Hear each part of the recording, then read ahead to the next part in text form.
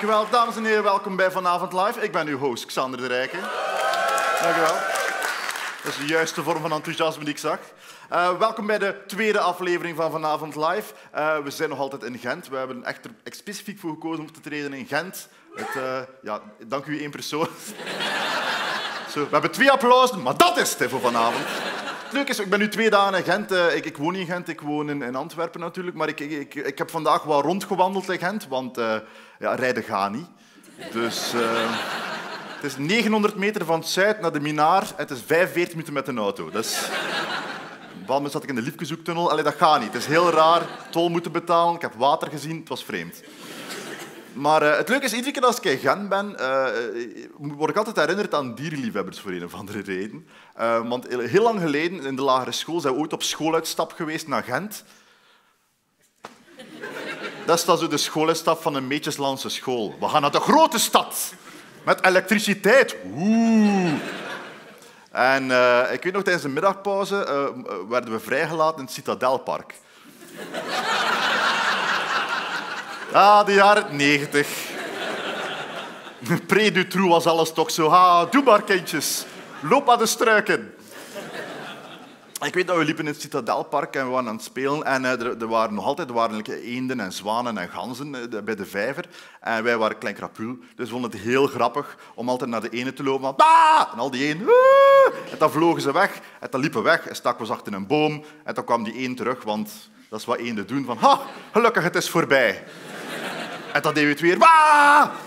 En op dat moment heb ik nooit meegemaakt. Het is de enige keer, het raarste ding, iets dat zo hard op mijn, op mijn hersenvlies gebrand staat.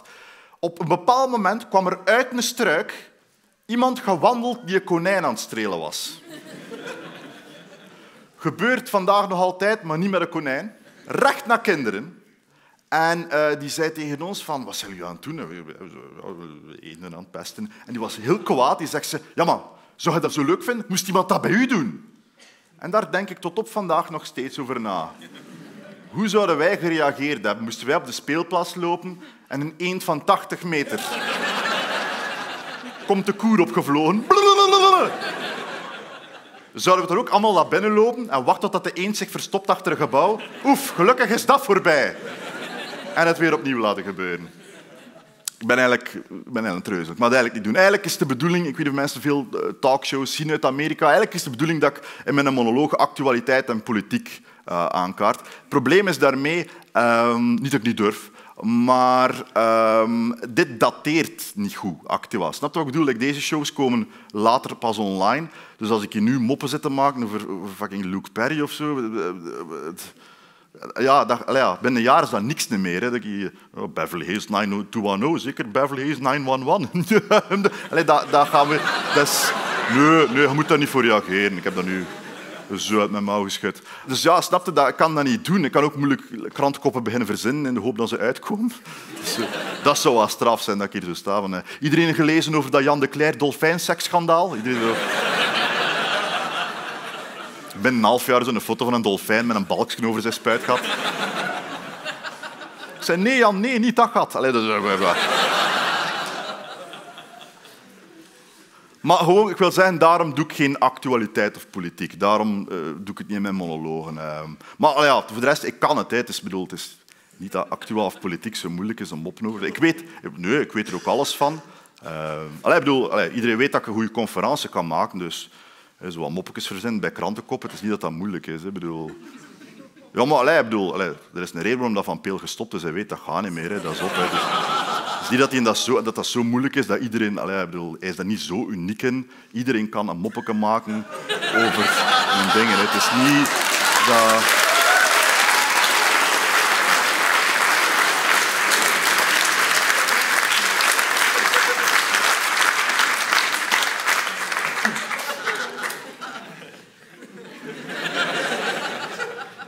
Iedereen. Zo. Ja, ik, ja, eh, ja, ik bedoel, weet je dat toch ook? Ik bedoel, dat is toch gewoon... Gazet lezen, hè? Ja, en dus het dan, het dan... Allemaal wel, hè? Elke dag. Ja, maar doe ik, Wikipedia. doe ik dat ook, hoor. Allee, bedoel, het is niet... Zo, dat, ook. Ze gewoon zo aan de laptop zitten en dan zo wat... Oh, de rechtsen.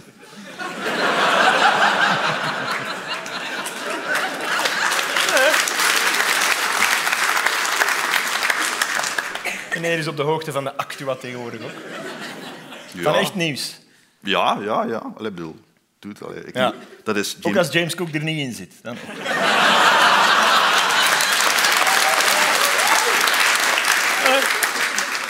Eh, Echt nieuws. Ja, allee, We gaan een keer maar- checken, hè? Goed. Xander de Rijken. Heb jij het nieuws gelezen? Ja, Ik krijg het niet. word ik gestraft? Noem de vervanger van Joke Schouwvliegen. Koen van der Deuvel. Het is goed. Dat wist iedereen natuurlijk. Goed, wiskunde. Hoeveel zetels heeft N-VA nu in de Kamer van Volksvertegenwoordigers? Volksvertegenwoordigers. Ja, ja, ja, ik was niet met dat andere ding bezig. Ehm 31. 31. Is goed. Beleidsvraag. De ondergrondse bushaltes van Brussel-Noord kampen met problemen door daklozen en transmigranten. Hoe lost een goede regering dat probleem op? De bus altijd verzetten. Goed. Ja, oké. Let's not get cocky. Nieuwsbronnen. Een goed conferencier het gebruikt enkel de beste nieuwsbronnen die er zijn. Je noem de drie belangrijkste nieuwsbronnen in Vlaanderen. Belga. De Twitter-account van Theo Franken. En de Instagram-account van BV-kapper Jochen van Hout. Is goed. Dank u wel. Dank u wel. Shit, ik ben hier te vrezen voor mijn job. Ah. Iedereen kent Bart Somers, de vrolijke spring in het veld van Mechelen, maar hij was dat niet altijd. Wat was Bart Somers in zijn vorige job? Het zonneken en de Teletubbies. Goed. Ah, gewoon iets moeilijker moeten gaan. Goed. Fysica. Vanuit Antwerpen vertrekt een trein aan 120 km per uur naar Gent. Uit de tegengestelde richting komt een trein aangereden aan 90 km per uur. Op welk punt zullen deze treinen elkaar botsen, weten dat er exact 32,3 km spoor is en dat het de vrijdag voor paasmaandag is? Strikvraag. De treinen botsen niet, want er is heel veel kans de dag voor een verlengd weekend dat toevallig staking is.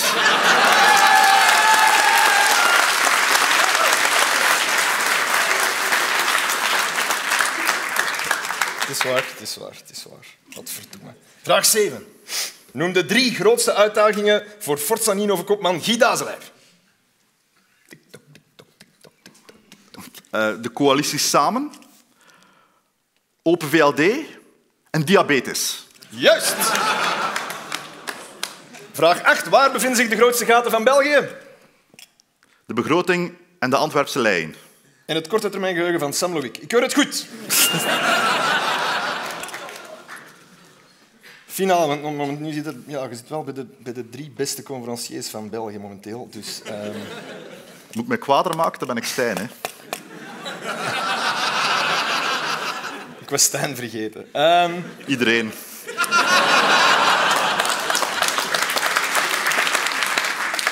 Op, ik smijt mijn gsm. Goed.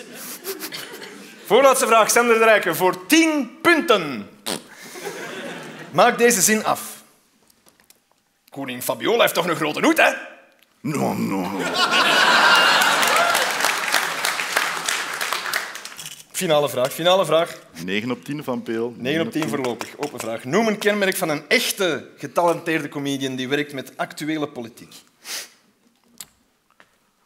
Na tien jaar aan succesvolle conferences trekt hij de stekker uit voor quality control en drie dagen aan een uitverkochte tournee van vijf shows per week komt hem toch helemaal naar Gent gereden voor geen geld om drie minuten in een veel te lang durende sketch van een collega-comedian in een valse talkshow te zitten.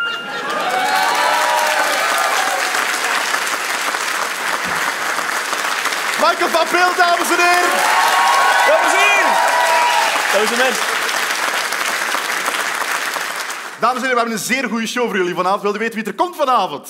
We hebben zoals altijd, we hebben muziek, we hebben comedy, we hebben gebabbel. Muziek vanavond van de, de frontman van School is Cool. Johannes Genaar is hier vanavond, dames en heren. Er is ook comedy, een van mijn favoriete comedians hier. Thomas Smit is hier vanavond, dames en heren. En ons gasten zijn absolute titanen in hun vak. De man van de comedy hemzelf, Alex Agnew, is hier vanavond, dames en heren. En een acteur, niet zomaar de acteur gewoon. Koen de Bouw is hier vanavond, dames en heren.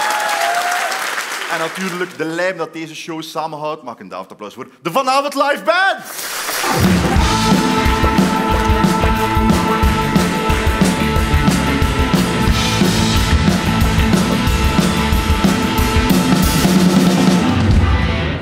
Ah, dank u wel.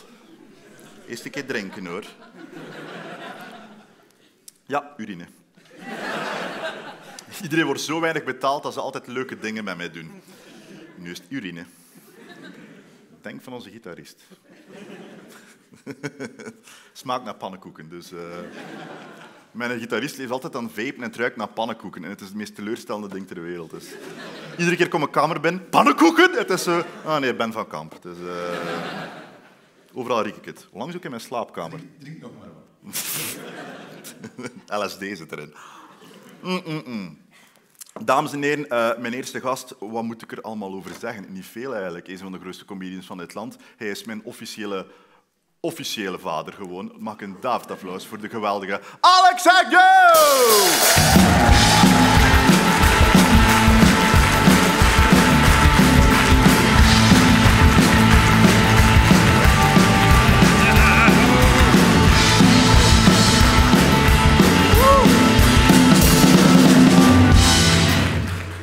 Hallo. Mijn kostuum is te klein.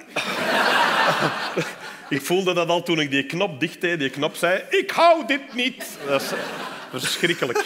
Ah, Ik vind het straf dat je kostuum aangedaan hebt. Ja, dat stond eigenlijk op de briefing van doe uw beste kostuum aan. En Ja. ja, dit is mijn enige kostuum. Dus bij deze dan. Zijn daarin getrouwd ook? Nee, nee, nee, nee. nee. Dat, dat heb ik ook nog. Zo zielig is het net niet. Maar dit was het kostuum dat ik eigenlijk droeg omdat ik de getuige was van, eh, van Michael van Peel op zijn trouw. En heb ik dat laten maken. Maar die mensen van Café Kostuum, plug! Die, eh, die, die, zeiden van, eh, die hebben dat echt wel op maat gemokt. En daarmee bedoel ik, komt geen kilo bij of dat ontploft. En Ja, ik ben nogal een jojo, dus dat gaat alle richtingen uit. Dus eh, ja. Wel, ehm, ik ben heel blij dat je zei het. We zitten in, in de aanloop naar nog een sportpaleis of drie. ja, ja. En ik zie je overal opduiken en overal vragen mensen oh, het sportpaleis en dit en dat. En voor mij het interessantste bij u is altijd een paar stappen teruggaan. Want ik vind zo de jaren voor 2006, Ja. hè, wanneer comedy zo wat doorgebroken is in het land, is er bitter weinig... Toen mensen nog vroegen, moet je daar een micro hebben? Zo, als wij ergens binnenkwamen. Zo, ja, dat is een, Is er een podium met licht nodig? En dat was zo. Nee, nee. De beste vond ik dat een band ooit vroeg: vind het erg dat we soundchecken terwijl dat jij speelt? True story. En ik had zoiets, nee, doe maar als je het niet erg vindt dat in het midden van jullie songs ik de micro afpak van de zanger en zeg er kwam een boer bij de bakker. En, dat- boer ik, weet niet, ik weet niet waarom eh, dat ik dat zei. Ja, toen vroeger een headset gewoon nog een gewone micro was, dat ze nu op kop duct tapen. Ja. Headset! een West-Vlaamse headset. Een beetje gelijk moslims die dat, dat zo in hun ding steken. Zo, hè, zo. Die hebben zo'n hands-free telefoon uitgevonden met hun, eh, met hun hoofddoek. Zo. Dat heb je nooit gezien? Nee? Dat is mega zot. Die doen dat echt. Ja. Ja, dat is heel cool. die wandelen gewoon op straat zo, en dan hebben die zo hier zo een, een, een, een iPhone zo in hun, eh, in hun hoofddoek gepropt. Ik heb alleen maar gezien dat een vrouw bij mij naar een BH stak. Wat raar, het is een ene grote vierkante tepel. En dat is ook heel fascinerend om naar te kijken. Heb ik u ooit... Dat is wel raar dat jij dat gezien hebt. Waar, waar zie je zo'n dingen? Zo, vrouwen die dat in hun BH steken. Op de tram in Antwerpen, waar ik alles zie. Dat verklaart alles. Alles zie Ja, van de ja. wereld. Heb ik u ooit het verhaal verteld en daarna moet hij praten. Hè? Nee, nee, nee, nee, het- Doe maar. Doe. Is uw show, man. Ik ben hier gewoon. Ik krijg hier geen geld voor. Dus eh, Ik, ik, vertelde, ik wil het gewoon vertellen omdat ik weet dat hij moet lachen met dat verhaal. Want je kent dat verhaal. Ik vertel dat. Mijn favoriete West-Vlaamse optreden verhaal Ja. is in Ardooien, de cultuurkapel, de schaduw in Mhm. is de backstage twee scheepscontainers. En een daarvan hebben ze omgevormd naar een, naar, naar een backstage. En de andere, daar zitten zwijnen. Dat is de mascotte van die zaal. En dan af komt af en toe ook eruit, dan wandelt hij eruit. En ik zat daar backstage en ik valt al een elektriek uit. Ik zei, wat de fuck is dat hier? En dan gaat gewoon zo een deur open en er steekt een West-Vlam in zijn kop in. Sorry, zwijn niet de kabel doorgebeten. Vlam. dat is... ik heb ooit eh, met mijn band in, in, in, in Ekeren op Pandafest gespeeld. Wij waren er aan het- de naam alleen al. En wij waren er eh, een heavy metal festival genaamd Pandafest. Ja, want ze konden geen ruiger beest niet meer vinden in metal. Maar wij stonden vol een bak te spelen. Het was eigenlijk best een goede show. Ineens valt alles uit. Letterlijk, alles valt weg. En er kwam iemand binnen. Hij heeft er iemand op de kabel gepist. Ik hoop dat hij dood is. Dat is al dat, is al dat kan zeggen. Ja. Eh, dus, wacht, ik ben aan het nadenken. Is dit eh, tussen de 15 en de 20 jaar dat je nu comedy of is het al langer? Nee, het is ja, bekend 20. Ja. Eh, Ja, bijna dus, 20 jaar. Dus wat, 1999, 2000 is het Ja, jaar dat je begonnen bent. ongeveer. Ja. Wat, wat waren de toen aan het doen? Wat, wat was uw stap naar, naar het podium? Goh, amai. Ik, ik, ik was eerst... ehm, ja, ik heb eerst zo 13, eh, 12 stelen en 13 ongelukken, of hoe noemen ze dat? Zo allerlei jobs gedaan. Ik was aan het werken bij de Vlaamse Opera eh, als receptionist. Ik zat zo aan de dienstingang. Eh, ik heb er ook zo van die dingen gedaan. Ik zat aan de telefoon. Iedereen dat niet belde voor tickets, maar voor interne dingen, eh, ja, pakte ik de telefoon op. En het goede was, dat was altijd Vlaamse opera. Goedemiddag, kan ik u helpen? Zo dat. En dan zei hij, ja, ik zou even willen spreken met de die. Ik verbind u even door. Maar ik heb ook zo van die momenten dat ik dacht, kom maar wat amuseren, want ik ben me aan het vervelen. En die, je, geeft die wachtmuziek, dat je die in wacht zet. Ja. Maar ik had gewoon niks te doen en ik had zoiets van... Ik zet u even in wacht.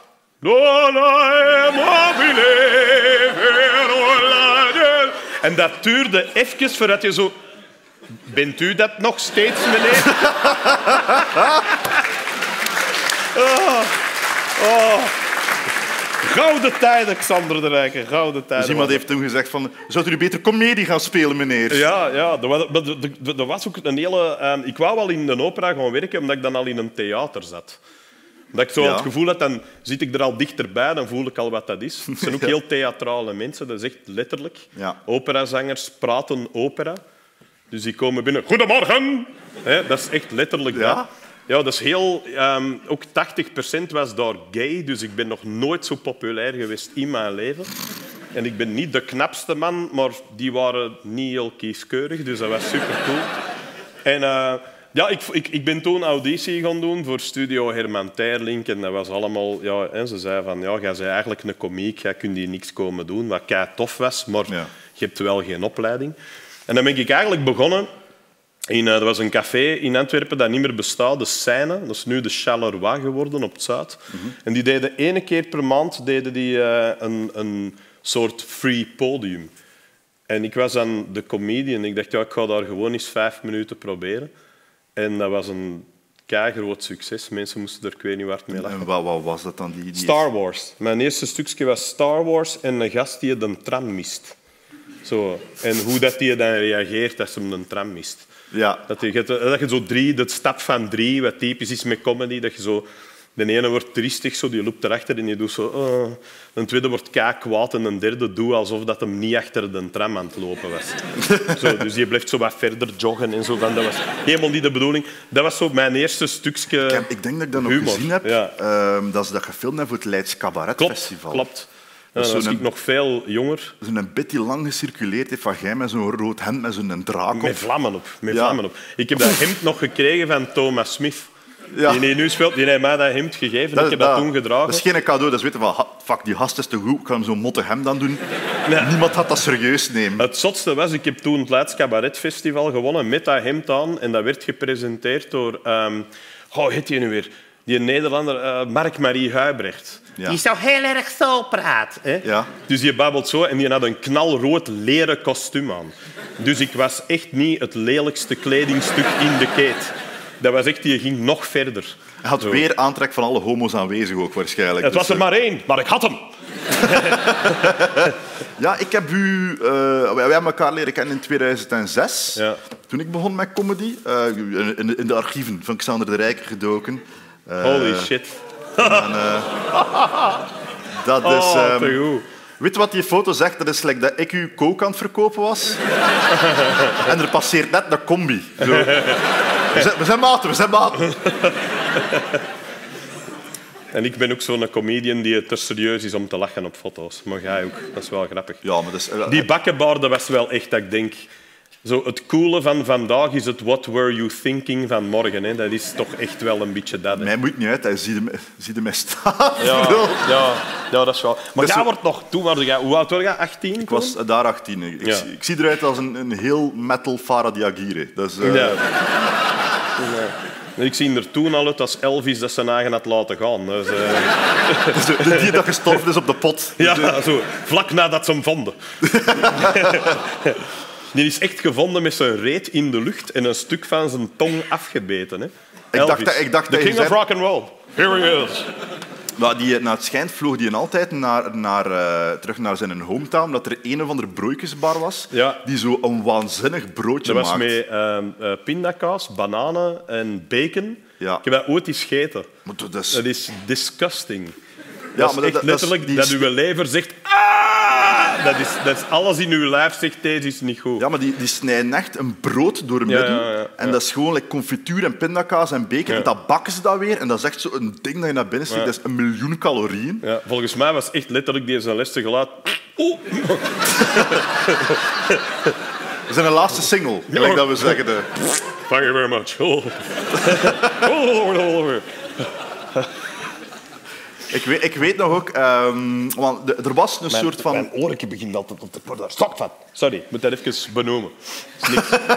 Zijn hier aan het zweten? Dat is hier allemaal te dik. Ik heb vandaag een doei Mars gevonden trouwens bij mij. In, eh, ja, ik heb zo'n bureau waar ik werk. Zo te En zien ik- niet, hè? Jawel, jawel. Ja, nee. En mijn glas. Er stond niet veel, er stond niet veel eten in de ijskast. De muis was dood. Maar, nee, maar ik zag... Ik, ik, ja, ik was met een bril aan het poetsen en ik zie niet goed zonder bril. Ik zie ineens zo'n donkere vlek in de hoek liggen en ik denk, hm, ik moet die stofzuigen. En ik, ik zet die bril op en er ligt een dode muis. En, en ik heb echt letterlijk deze gedaan. Ah! Helemaal alleen. En ik, er was niemand, maar ik moest dat van mij afroepen. En dan moest ik die zo opschrapen met een, met een, eh, zo een, een blik van een borstel en blik Ja. zo. En die plakte gedeeltelijk op de grond. Ja, man. En dat kwam zo een stuk af. En ik had echt zoiets... Ah! Dus dat was mijn dag. Sorry, ik weet niet waarom dat ik deed. Ik weet niet... kostuum. Wat voor een zetel is deze man? Ik, ik, ik, ik weet niet hoe dat ik hierin moet gaan zitten. Dat is zo... Hallo, Xander. Ja, vertel het eens. Dit is mijn penis, dames en heren. Gezellig. Dus eh, dat is daarom... There was a night wanna- Nee! Je mocht de illusie niet verkloten. Oh nee, oh nee, die is niet ingeplucht. Nee. Dus, dus, ik ben precies Tom Cruise. I love her, man. I love her. Sorry. wat ik wou zeggen is, Ja, ik weet sorry. nog... ehm, toen ik met comedy begon, wist ik niet wie dat hij was. Maar je zat zo op die, die brugperiode van... Alex Agnew naar... Ah ja, Alex Agnew. Like, wat wat Ja. was zo rond... Wat, ergens in 2005, 2006... Ja. Dat is de bovenste plank of zo. Nog voor Comedy Casino, dat ja, zo dat dat klein... was- ik had, eh, in 2003 heb ik het Leids Cabaret Festival gewonnen als eerste Belg. En dat was een big deal in, in Nederland dan. Mhm. En dan eh, ben ik hier ook een beetje ineens op de radar gekomen, wat typisch is. Hè. Je moet altijd eerst in het buitenland iets gaan doen. En dan zeggen ze, oh, dat zal hem wel goed zijn. En ik kreeg een tour, maar die tour was ook belangen niet uitverkocht. Er waren zoveel plekken waar ik zo gespeeld heb in de zogenaamde podiumopstelling, zoals dat heet. Oh. Daar zat er hier een doek dicht is, een lege zaal, en ze hebben zes tafels op het podium gezet en dan een klein podium op het podium. Dat was zo meta-comedy. Zo van, Ja. het is uitverkocht. Allee, Ja. er is wel een hele zaal achter, maar... Achteraf En, eh, dweilen we met uw tranen. Voilà, dat was dat. En dat was eigenlijk een beetje het begin van die, van die eh, Kaboom-tour, van mijn eerste tour. Maar toen was er inderdaad de bovenste plank. En dat was, een, een heel, eh, dat was zo'n programma, een soort veredeld archiefprogramma van de VRT, waar ze zo stukken lieten zien van Gaston en Leo en Urbanus en dat soort dingen. En daartussen hadden ze dan zo ehm, een, een avond gecapteerd in eh, de Breugelzaal in Bree. Communicafé de Breugelzaal in Bree. Inderdaad, fantastisch. Dat is een zaal die ligt in een winkelgaanderij en je vindt die niet. Als je, als je niet weet waar dat is, dan loopt het er 37 keer voorbij. Maar uiteindelijk daar is dat opgenomen. Dat is bloedheet. Het was nog warmer dan dat ik het nu heb. Ehm, en het was, eh, dat was... Goh, wie was dat allemaal? Ik denk toen Bert Kruismans, eh, Nigel Williams, ehm, Wim Helsen, Wouter de Pre, ikke... Ehm, dat was een serieuze line-up. En het grappige was ook, wij waren, ik en de Wim moesten afsluiten en wij waren niet bekend, allebei toen. En de, de VRT was er toen en die zei, ja, maar jullie zijn, hè, zo Nigel en, en Bert en ehm, Wouter zaten toen in de rechtvaardige rechters, wat toen Ja. zo het populairste Ja. programma was. Zijn jullie het vergeten? Goed. Maar... ehm, Zaal vol millennials. Ja. Geen idee.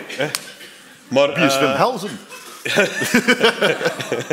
oh, oh, is hij gestorven? Wat is er nu gebeurd? Als je er een grap over maakt, gaat hij dood. Zo gaat het met Wim. Maar ehm, die zit er nu. Vrienden van de poëzie. Ah.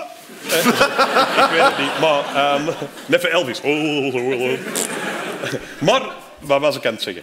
Dus ehm, wij moesten het afsluiten, ik en de Wim. Ja. En, en, en de, de VRT had zo'n houding van, ja, die kennen wij niet.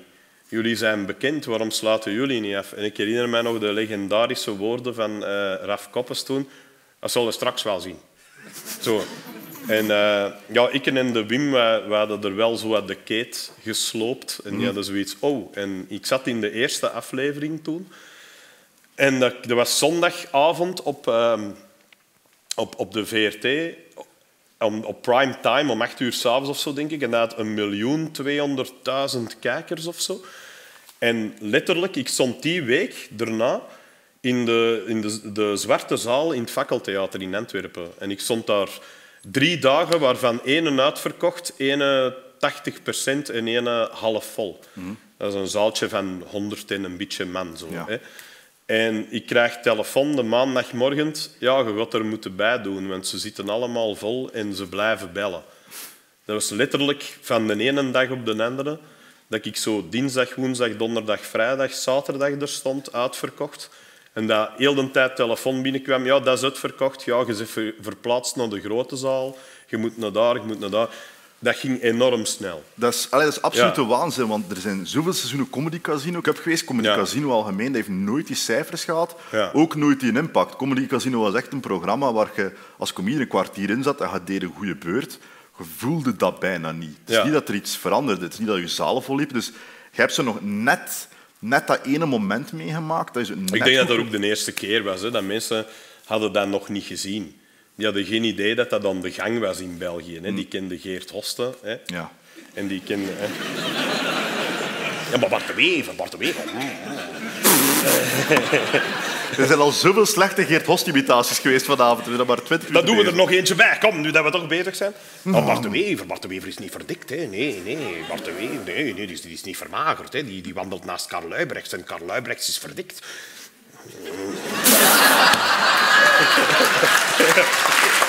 Ah, dat is een echte mop. Dat is een, dat is een echte... Ik kon zo, ik weet niet, ik kon zo zitten. Ik, ik geef het op. Vertel verder. Hey daar. Eh, Hallo. Ik weet nog, ehm, toen, ik, toen ik u ontdekt heb, ik, Ja. ehm, ik, begon, ik ben begon- begonnen met comedy in maart 2006. En de, de, de merde daarvan is dat dan hij wilde optredens en dan zei hij, ja, maar het seizoen is bijna gedaan. Like, in mei stopt het comedy-seizoen. Vanaf september pikt dat weer op. En toen was er een open mic in de Bal in Fernal in Gent, waar nu gewoon een, een boeken, een, zo, een, eh, een links eh, café waar ze boeken lezen en koffie drinken. Hemel. En ehm, Afbranden die handel. En dan meteen. Ik vind dat wij samen Sorry. één keer de Boerla in Antwerpen moeten afvuren voor een hele slecht theaterstuk te Ik brengen. vind dat ook. Ik vind dat ook. Voorwaar, mijn toga is wit. Een duif!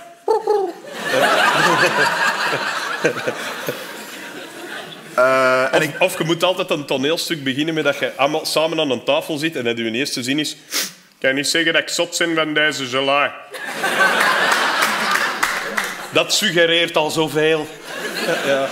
prachtig. En ik, eh, ik dat doen, gaan dat doen. Of zo wat mime zo. Gaan we niet wat mime doen? Dat lijkt me nog cooler. mime. Mime. Ik beweeg nooit. Ja. Dus Wel, maar dat is kei cool. Dat ik daar zo wat sta, hij danst rond mij heen. Ja, ja, ja. En dat is vijf... Dat gaat Ik doe uit. dan alsof dat ik ongemakkelijk op een stoel zit. Het ergste is, moesten we 35 euro betalen, dat verkoopt uit. Hè. Sowieso. Sowieso. Standaard, vier sterren. Inderdaad. Eindelijk zijn ze grappig. Eindelijk kunst. Na al die jaren een beetje diepgang. Eh, geweldig. Ik kreeg een mail die zei, wilt je een bal in Fernaal staan? En ik zei, ja, natuurlijk. Ik heb tien minuutjes. En ik weet dat hij stuurde, ja, het is wel het voorprogramma van Alex Agnew. Dat kan erger, natuurlijk. En ik wist niet wat hij was. Hij was zo, ja, dat kan altijd erger, hè. En dan heb ik, hem, heb ik u gegoogeld. En eh, toen was er nog Google Video. Nog voordat zo rond dat was zo YouTube en Google Video een wedstrijd aan het Ja. houden. En er stond een compilatie van het beste van het eerste seizoen van Comedy Casino. Die was 20 minuten en jij waart 17 minuten. en toen hadden we zo... Ik, En volkomen terecht. ik heb met een maat van... Holy shit, wat voor de gast is dat? En dat is het ontstaan van een prachtige relatie door heel het hele land. Ja, ik weet nog, want jij, jij blonk vooral uit in heel jong zijn en onwaarschijnlijk onenthousiast zijn over alles. Dat was echt fantastisch. Ja, En dan heb ik u gecoacht in Comedy Casino Cup. En Ja. ik weet nog dat jij... Jij was ook een paar keer dat jij niet zou komen opdagen. Dat was ook fantastisch. Ik moest je coachen en de, de, bedoeling was dat we naar een, een Antwerps café gingen. En ehm, we moesten dan afspreken en daar zoiets geënsceneerd grappig doen, dat ik die dan ging coachen. Hij komt niet opdagen. En ik zit daar eh, met die filmploeg, zo van... Ja, en ineens, ik zit dus aan een toog in de Zeven Schaken, café in Antwerpen, op de hoek op de Grote Markt. Komt ineens een oude man naar mij met zo'n, met zo'n gewakste krulsnor. En die zegt... Hoi, je kom ik, hè. Ik heb een mop voor haar. en zo zijn dat aan het filmen, dus ik zeg, oh ja, oké, is goed. Nou, er komt een vrouw bij de dokter. Hè, en die vertelt zo een of andere grap. Hè, en dan zegt hij, ja, ja ehm, wij zijn een moppenclub en wij komen altijd samen hier. Maar uh, alleen merci dat ik die mocht vertellen. En die gaat weg. En die gaat terug naar die tafel en dan staat er een andere recht. Wacht, nog één. En die komt... En ik heb daar drie kwartier gezeten met de moppenclub die daar al hun jokes al maken kwamen vertellen. Dus uiteindelijk was dat nog een vrij productieve dag, ook al was jij er niet. Ik wil even duiden. Ja, Dat ja duid dat is, na al die jaren. Het probleem daar was, eh, toen eh, we zaten we onder contract. Vertel verder. Nee, sorry. Ik heb uw manbobbel al te veel gezien. Nee, ik weet het, ik weet het, ik weet het, ik weet het. Het is ook niet meer wat het geweest is. Manbultje. Manbultje. Nu wou ik dat ik een tafel had, zodat je eronder zit. Eh, nee, maar dat is altijd... Ik, Manbultje, dat zou zo'n een, een assistent van u moeten zijn. Manbult! Dat er dan zo weer van achter de hoek komt. Yes, master. Sorry. Ik weet. De bells, de bells! we gaan niet weg. Mee! We gaan niet weg voordat ik die recht gezet heb. kan we niet ballen! Een nieuw manbultje. Een verhaal.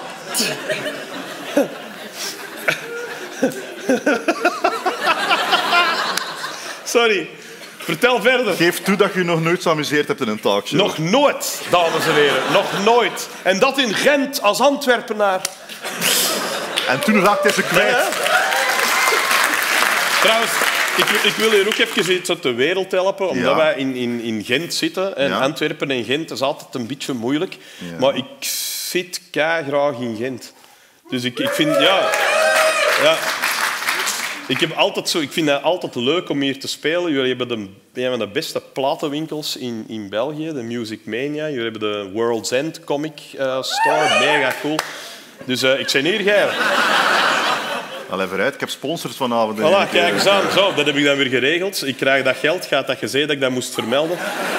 Jij zei ook direct tegen mij, zeg niet wat je echt van Gent denkt. Dus dat heb ik dan ook niet... Nee, nee, just kidding. Jawel. Eh, nee, nee, maar sorry. Vertel. De dag voor de opnames. Ja. Dat was altijd een dag ervoor dat ze zei... Xander, om zeven uur s ochtends moet je in Antwerpen staan. Ik zeg, dat is een probleem, want ik woon in Ede, een klein dorp over de grens bij Nederland, bij Maldegem. Ik raak nooit om zeven uur of acht uur in Antwerpen met openbaar vervoer. Gaan we moeten komen halen? Ja, dat gaat niet gaan. Ja, dan ga ik er niet zijn. Einde. Want er is... Er rijdt twee keer per dag een bus in Ede. Om, like, like zo om tien uur en een keer om vier uur. Zo, Ja. Rond piek. Voor de rest, er is... Deliveroo is daar like een raap die van een tractor rolt. Dat is Deliveroo. Dus...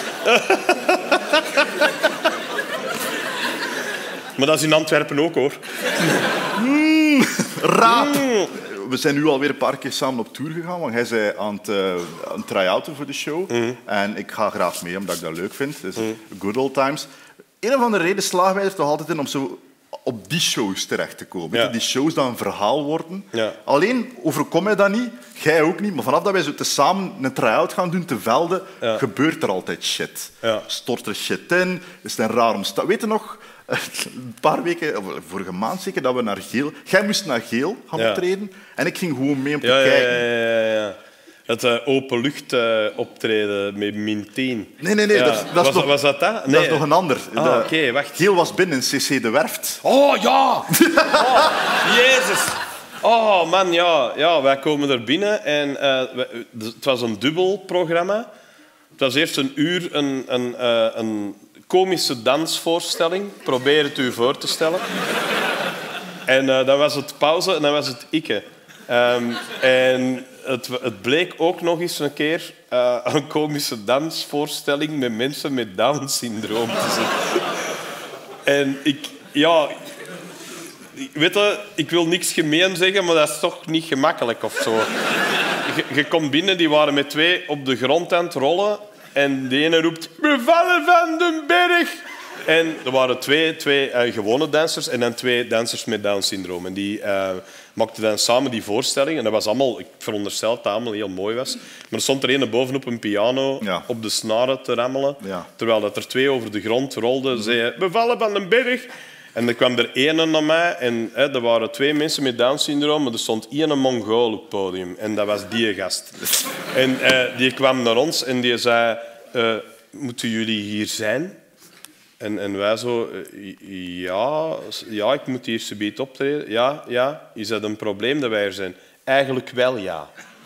En wij zo met twee, oké dan. We gingen van het podium af hè, en daarna kreeg ik ook nog te horen... Zo, ja, ga, ga subiet gaat optreden. We moeten wel even zeggen, de eerste rij zijn allemaal mensen met, een- met, een, met een verstandelijke handicap. En, en ik stond er en ik kijk naar mijn manager en ik zeg, hoeveel roeivlaggen moeten gaan hebben? Vooraleer dat je zegt, dan deze misschien niet. maar het was, uiteindelijk was het leuk. Hè? Het mooiste moment was vo- vooral omdat... eh, jij liep al heel tijd backstage van moet ik daar iets over zeggen? Kan ik er iets over zeggen? Ik wil die niet beledigen, maar ik wil dat wel kunnen benoemen. Ja. En we waren ook al heel tijd in twijfel van... Wisten die mensen dat dat voor u ging zitten? Ja. En dat was niet. Ja. Dus die mensen dan zo... Ah, ik zeg nu in geel! En die komen binnen en die die echt van acht uur tot like, half tien... Tien uur. tot- Tien uur tot dat tien- Die hebben twee uur non-stop zitten kijken naar dansende syndroom van Down-patiënten. En het moest grappig zijn, maar ja, die lachen niet, want dan denk je, ja, ik ben ze toch niet aan het uitlachen. Hmm. En dat was zo mooi, uw ontlading, dat hij zo die scène opstapt, zo super onzeker, en gewoon heel kalm zegt zo... Het is al een lange avond geweest. hè." en heel die zaal... ja, Hij benoemt het. Eh, maar ik heb er zo, ja, we hebben zo met de try-outs, ik heb er ook zo eh, een paar gedaan samen met de Bart Kannaerts en Michael van Peel. En er was er ook een bij. Dan hadden ze zo'n podium gebricoleerd. Eh, en daar hadden ze zo de, de zotste constructie ever. Het was zo'n soort ehm, paal, zo'n soort lange T, zal ik maar zeggen. Dus een paal met nog een, een lange balk eraan. Daar hadden ze een gordijn over gehangen. En ze hadden dat recht gezet met twee klemmen, een ladder en een houten balk. Dus van achter gezien was dat echt gebricoleerd, zoals dat ik iets in steek. Ja. Dat ik denk, ja, dat zal wel blijven staan. Hè, zo. Dat die een schap waar iedereen naar kijkt en zegt, ik geef het tien minuten en dat ligt op de grond. Dat was letterlijk dat. En wij, ik en een Bart Kannaert, wij staan achter dat doek. Michael is aan het optreden op dat podium. En de, de Bart is wat een ozel aan. Die stomt ineens die ladder omver. Die, die een balk valt weg. Die twee klemmen springen los. En dat ding doet... En wij houden dat nog net tegen. En ik en een Bart Kanaerts hebben heel de Michaels een set die een paal vastgehouden. Er was ook niemand van de techniek te bespeuren. Je kon die ook niet roepen, want de Michael was aan het spelen. Dus wij probeerden zo, als hij een goede lach had, hè, zo, Ja. hadden wij zoiets... Help! Hè, zo, in, de, in de hoop dat er iemand ons ging komen redden. Daarna is een Bert opgegaan en wij hebben heel de avond zo gespeeld. Zo. Ja, goedenavond mensen. En, eh, hoe, eh, zo heel de tijd in doorgaan houden dat dat ding niet ging omvallen bovenop ons. Er is ook een moment geweest, dat moet op podium te zien geweest zijn. Dat dat ding voorover kantelde, dat dat terug recht ging en dat je zo dat doek heel de tijd ziet bewegen, omdat er zo twee gasten zo... Ah, daar gaat hij, daar gaat hij. Haal die. Zo, zo. Dat was echt dat was hilarisch. Een iconisch verhaal de- van, van een show van ons. Eh, bijna tien jaar geleden Ja. eh, in Tongeren. Oké. Weet je nog, is er iets gebeurd tijdens een show? Ik deed u support. Eh, Is dat die vrouw dat de zaal uitliep? Was Ja. dat dat? Ja. Ja. Ja, juist. We waren aan het spelen ehm, en ineens loopt er, loopt er een vrouw de zaal uit, maar redelijk snel. En meestal geen goed teken bij een comedy show, dus ik, ik zie die buiten lopen en ik zeg, wow, alles oké? En die loopt gewoon, ja, ja, roept die nog. En die gaat naar buiten. En ik denk, hé, wat is dat? En er roept een gast in de zaal, die er water is gebroken. En eh, dat bleek ook echt zo te zijn. Ja. En dan hebben wij later... Ja, we hebben eh, een paar weken later hebben wij een eh, geboortekaartje gekregen. Dat, eh, ze had een zoon gekregen en die heet nu Alexander. Ja. Ja. En wij stonden op dat geboortekaartje in cartoonversie. Zo van, Ja. hè, met, met, tijdens het eh, optreden van twee grapjassen is er water gebroken. Die is bevallen en die noemt dan Alex Xander. Dus Ja. Alexander. Ja. Ja. die verwachten nog altijd geld van ons, maar dat... eh, Dik tegen alle kloten. Maar de reden waarom dat ik het vertel is, het was, eh, terwijl we dit nu opnemen, was het afgelopen weekend Brussels Comic Con. Zink ik hier allemaal aan het doen, man. Ik ben hier water over mijn eigen aan het kappen. Dat is niet normaal. Je bent ook Sorry. echt een kind op een trouw. Hè. Ik weet zo- het. Blijf nu een keer zitten. Ja, maar ja, ja, ja. Ik wil naar de speeltuin. Moet ik ze biedt met hun iPhone droedelen in de hoek daar. Ja, dat is goed. Dat is keigoed. Eh, ik, dus ik was op Brussels Comic Con afgelopen weekend. Ja. En er komt een man aan mij. Met een zin dat je trouwens niet zomaar tegen iemand mag roepen in een volle hal. En is... Meneer, ik denk dat u mijn zoon kent. Oh, wow, wow, wow, wow. Wow. Ehm, en, en ik zeg, eh, dat weet ik niet. En ze is zo hartje naast hem in een, in een, in een Pikachu-pyjama.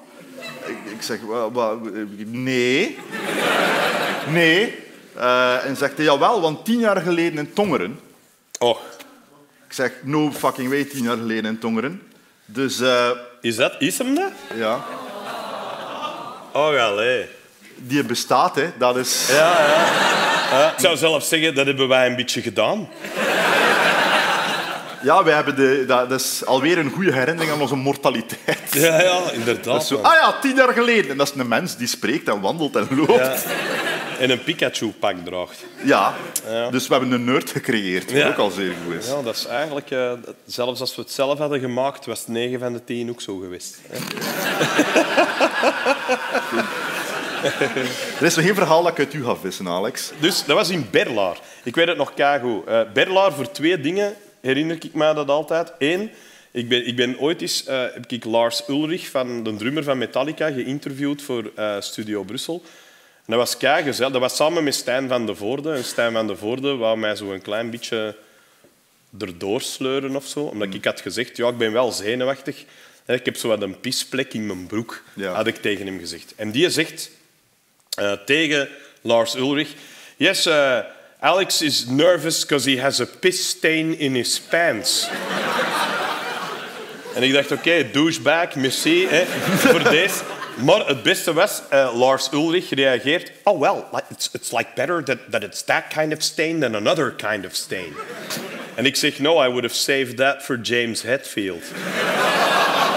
En die moest daar keihard mee lachen. Hè. Die zei echt van, oh, you're a funny guy, man. What, what, do you do? En ik zeg, ja, I'm a comedian. Oh, really? Do you know Sam Kinison?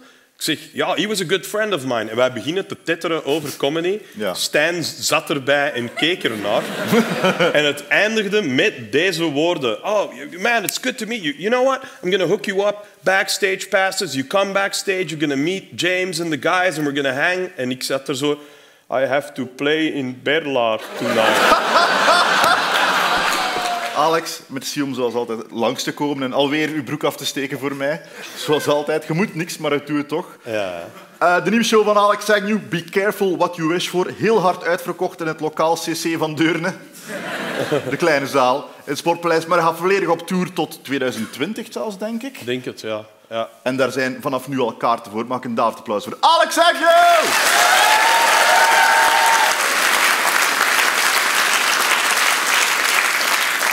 En van comedy gaan we naadloos over naar comedy.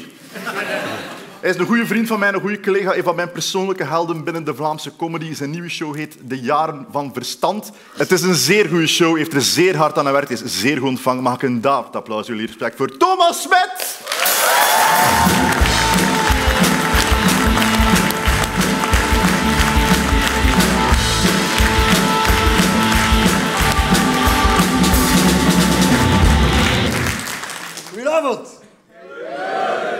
Ik blij dat ik hier mag spelen. Eh, ik weet niet of dat Golle dat leuk zou vinden.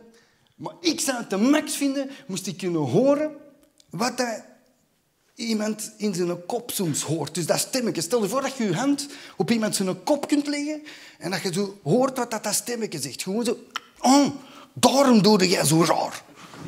Ja, oké, con- concreet voorbeeld. Ik moest optreden in Utrecht. Right? Holland. Prachtige zaal, kom ertoe, veel goesting. Ben kei beleefd altijd. Ik ga naar een technieker, ik stel mij voor. Ik zeg, hallo, ik ben Thomas. Die gast antwoordt, hallo, ik ben Toby. Ik heb een jonger broer, die heet Toby. Dat is dus toch kei normaal dat ik zeg, dat is toevallig. Mijn broer heet ook zo. Ik krijg deze reactie van die gast. En dan stelt hij de volgende vraag. Thomas of Toby?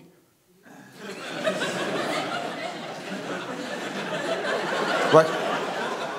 Misschien ben ik te snel gegaan voor sommige mensen. Eh, Gent, we gaan hier even moeten afstemmen op elkaar. Ik zie een paar mensen zeggen, dat is toch gewoon een vraag? Ja, ja. Dat is een simpele vraag. Ik had ook direct kunnen antwoorden. De, Toby, maar dat ging niet, jongen. Mijn kop zat vast. Hey, voor alle duidelijkheid. Iedereen is toch mee van ons getweend? Was hij toch de rare, of niet? Dat kan toch nooit de normale... Hallo, ik ben Thomas. Hallo, ik ben Toby. Dat is toevallig. Mijn broer heet ook zo. Thomas of Toby. Als dat een normale vraag is, hoe raar ben ik dan? Want dan zou ik dat constant doen, hè. Nou, mensen gaan, hallo, ik ben Thomas, hallo, ik ben Patrick. Dat is toevallig. Mijn broer heet ook zo. Patrick. Nee.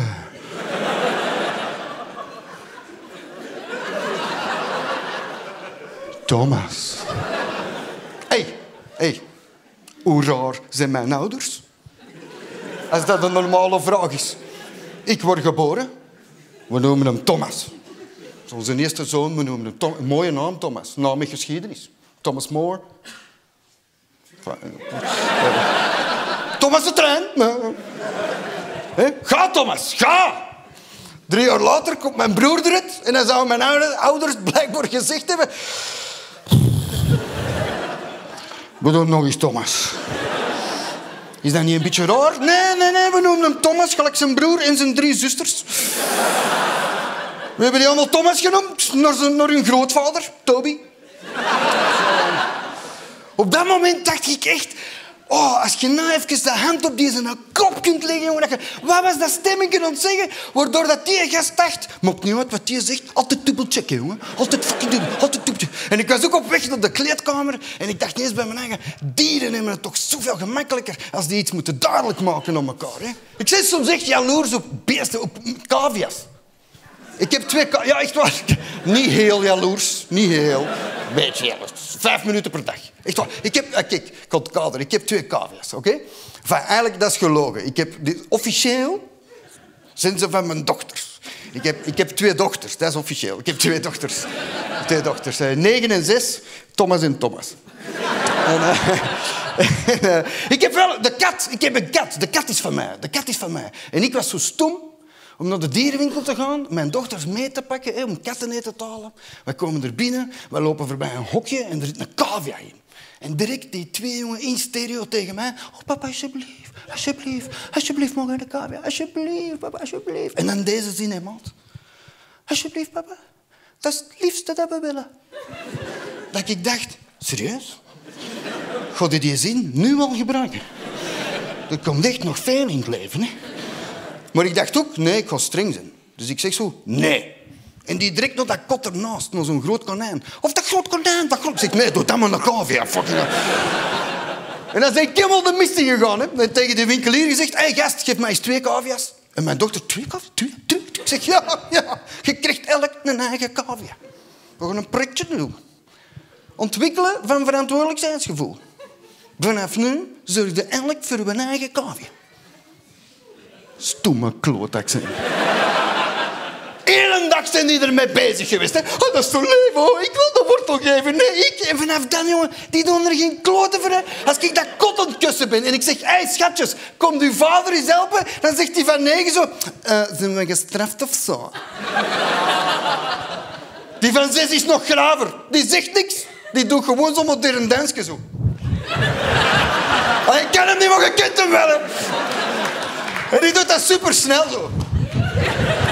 Waardoor dat mijn kop zo... En tegen dat, dat ik bekomen ben, dan zijn die weg. En dan stond ik zo, the fuck is er gebeurd? En voor de mensen dat denken, jij moet er toch achter. Ja, zwaar, ik ben de vader. Ik moet... Hé, ik ben de vader, kom eens terug. Maar ik doe dat niet, jong. En weet je waarom niet? Ik vind dat de max om voor die beesten te zorgen. Dat is echt waar. Dat is echt waar. Dat is raar om applaus ervoor te geven, maar toch. Hij wil voor cavia's zorgen. Oh. Raar. Maar is zo. Dat is mijn nieuwe ritueel, jongen. Dat is eerste wat ik doe. Ik stond morgens op in mijn pyjama nog. Gewoon naar dat kot met verse gooi. Verse groentjes, droge korrels. Ik dacht, Toby en Toby. Koetje, koetje, koetje, koetje. Kennen een cavia. Stomste beest dat er bestaat. Hè. Bolleke haar. En er plakken twee zwarte ogen op van voor. En die stralen constant paniek uit. Enige dat die doen, eten. Constant eten. Je ziet die denken, blijven eten. Je weet nooit wanneer dat gedaan was. Dat echt de max. En dan zie je die zo opzwellen en dan vliegt er een keutel uit. Dat is ook... Hey, en de waanzin, dan draai je je eigen om. En dan poefen ze die keutel ook nog eens op, jongen. Ik kon dat er nog eens doorschezen. Volgens mij heb ik nog wat vitamine laten. Nog wat cellulose om af te breken. dat kan niks, de KV, maat. Echt waar, dat kan niks. Dat vangt geen muizen of zo. Dat, dat bewaakt uw huis niet. Is er ooit iemand al voorbij een huis gefietst? Dat er achter het raam zo'n bordje hing, opgepast. Hier waakt mijn keutelrecyclerend knaagdier. Ga jij geen hond? Nee, die heeft de KV opgegeten. Vreedvrouw. Dat is zelfs geen staart. Om te laten zien, oh, mijn baasje is er. Ik ben zo blij. Echt waar. Je, hebt met een cavia twee keuzes. Ofwel zie je dat onvoorwaardelijk graag voor wat dat is. Ofwel maakt het kapot, jongen. Echt waar. Maar vanaf dat je een verwachting hebt... Je kon dat iets leren, na een minuut... Hé, maar dat is, dat de max, hè, zoiets in je leven. Ik weet niet of je dat door hebt. Dat is de max om iets onvoorwaardelijk. Je kiest ervoor. Ik zie dat onvoorwaardelijk graag. Er is geen enkele andere relatie zo, hè. Maar de relatie met mijn kat is al direct veel ingewikkelder. Ingewikkelder. Maar die doet wel dingen, hè. Mijn kat. Die vangt spinnen en muizen en zo. Dus dat is direct al een relatie met verwachting. En waar je verwachting hebt, en natuurlijk... Altijd een vrouw dat antwoordt. altijd, altijd teleurstelling. Je moet gewoon minder verwachten. Altijd een vrouw. Teleurstelling. Maar dat is, hè, want mijn kat doet wel dingen. Hè. Ik heb het al gezegd, die vangt spinnen en muizen en zo. En ik zorg er goed voor. Hè. Ik aai die, ik kem die, ik geef die nat eten, droog eten. Ik heb een plastic een bak gekocht waar dat, dat beest in mag kakken. En ik ga elke morgen op mijn knie zitten, jongen, om de stront eruit te scheppen in een zakje, terwijl dat zijn naar mij kijkt in de deuropening zo. Goed bezig. Ik heb een gat in mijn deur gemaakt. Met een klepje. Zo'n gat hè, met, ja, zo hoog. Als je naar buiten wilt gaan, je springen. Dat was niet hoog genoeg. Weet je dat die liefde teruggeeft? Zijn er mensen met een kat in de zaal? Dat moet wel waarschijnlijk, hè? Ah, oké. Oké. Hoe geeft uw kat liefde terug? Eh, niks. Oké, dat is goed. Meestal antwoorden ze zo eh, kopjes of spinnen of brr, brr. Die van mij kotst.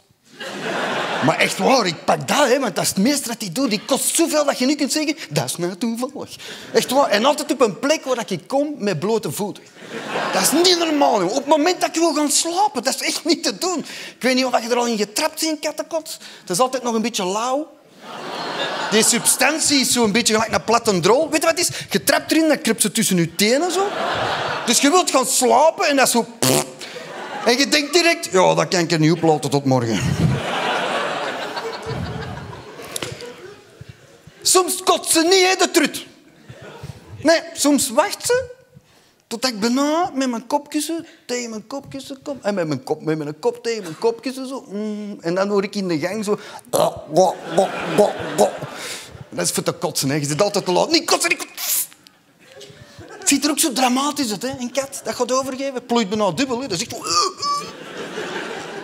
Als je dat ziet, dan oh, germe dat beestje. Ik moet dan altijd aan een zwangere vrouw denken. Hè. Zo ligt er dan zo echt, oh, dat is afzien. En dan denk ik, ik denk, die om die kat. Nee, nee, dokter, die een epiduraal geeft aan die kat, jong. Dat zijn, zijn duur medicijnen, ze moeten niet meer smossen, hè, maat. Wie, klapt daarvoor? Zo, wel ene keer. Ik heb het gedurfd, ik heb het gedurfd, ik heb het gedurfd. Ik ben een vent, vent. Dat is waarschijnlijk de vriend van die een dat er juist zei, teleurstelling. Zal ze eens terugpakken? Zal ze eens teruggeven, godverdomme.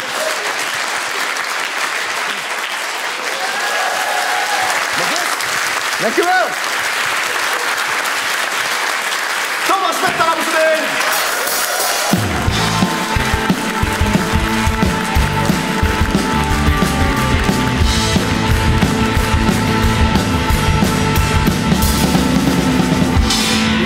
Yes. Dames en heren, mijn tweede gast van de avond is een van ons meest veelgevraagde... What the fuck gebeurt er nu? Ja, dat was niet opvallend hoor. Ik dacht, ik ninja gewoon op een andere zetel. Ik ninja. Ik walrus naar de andere zetel. Waar is mijn vis? Sorry. Dames en heren, onze volgende gast is een van Vlaanderen's meest gegeerde acteurs. U kent hem van de Vinken en Verstuif-trilogie, Het Vonnis, eh, Professor T. Dit jaar heeft een nieuwe film uit, hij heet Torpedo. Mag ik een David-applaus voor Koen de Bouw?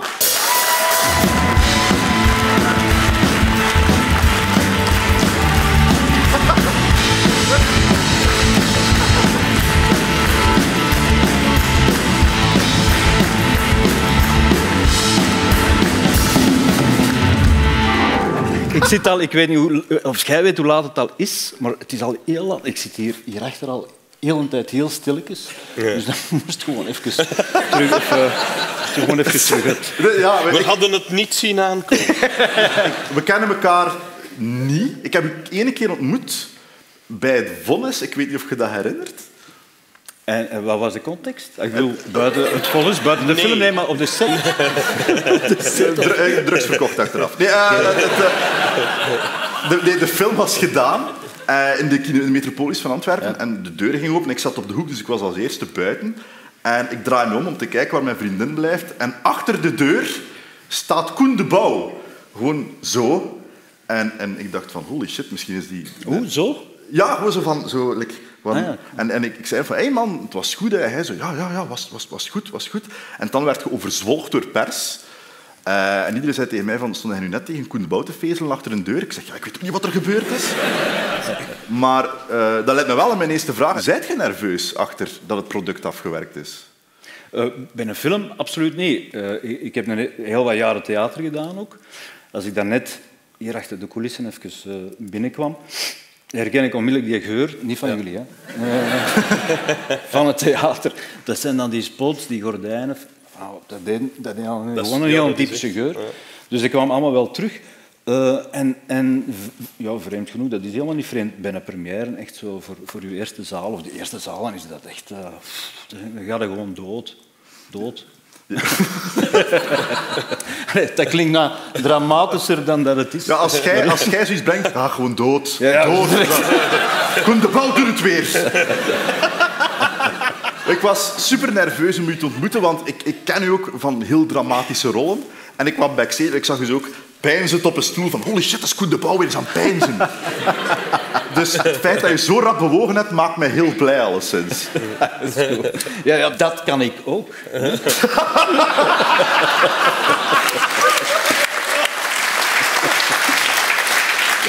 De Bouw, dat kan ik ook. Naam van uw biografie. Zeg maar, ik, dat wil ik toch wel even zeggen, want ik heb natuurlijk meegekeken. Echt super.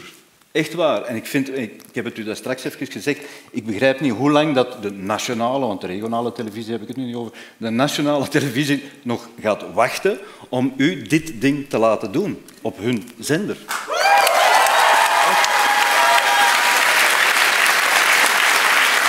Dat is, ehm, U hebt het gehoord van Koen de Bouw! dat is, nu zegt je dat, tot ik nog hard voor bekeken maak waar dat jij in zit. heb je al veel komische rollen gedaan eigenlijk? Want eh, ik, ik heb de afgelopen weken eh, professor T gebinged. Want ik had er zo sporadisch een aflevering van gezien. En nu heb ik het volledig in opgenomen als research. En daar zit je heel funny in ook. Heel droog weg natuurlijk. Een, echt een vlak af een komedie waar je de hoofdrol speelt. Is dat iets dat. Dat, dat is gewoon heel moeilijk, omdat die scenario's worden niet of die scripts krijg je gewoon niet, die worden niet geschreven. Tenzij dat je me nu... enfin, ik ga niet in, in, dat durf ik allemaal niet te zeggen, in wat ik allemaal niet eh, wil spelen, wat dat betreft en wat hier gemaakt wordt. Maar dat is gewoon niet waar ik, waar, ik me, waar ik me in thuis zou voelen. Nee, dat is ook echt heel erg moeilijk. Wat jullie hier vanavond ook doen, is heel, dat is het moeilijkste. En dan vaak nog helemaal alleen.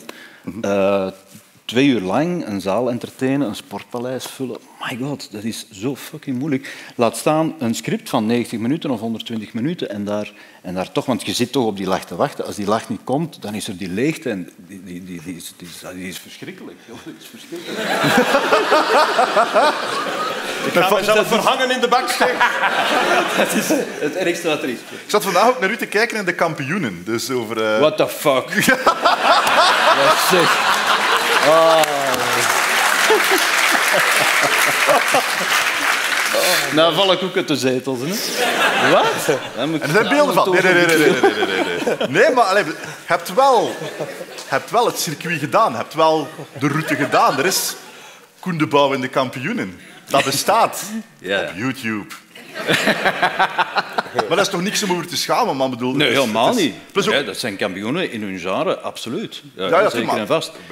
En ik was er helemaal niet in thuis, maar ik, ik, ik ben daar inderdaad een aflevering ingevallen. Ja. Ja, ik, ik zat er net. Het mooie ervan, het is een vrij dramatisch stuk dat online Je moet weten, Anneke Tuts zat... Sorry dat ik je onderbreek, Nee, maar, met doe alle respect. Maar Anneke Tuts zat bij mij in de klas op de studio Herman Teiling. Ja. De Walter Michiels in een tijd ook. Weliswaar maar, maar één jaar, de Walter. Hoe die routes anders kunnen lopen. Maar eh, ehm, er zaten wel een, een aantal mensen in de kampioenen die ik, eh, die ik eigenlijk goed kende.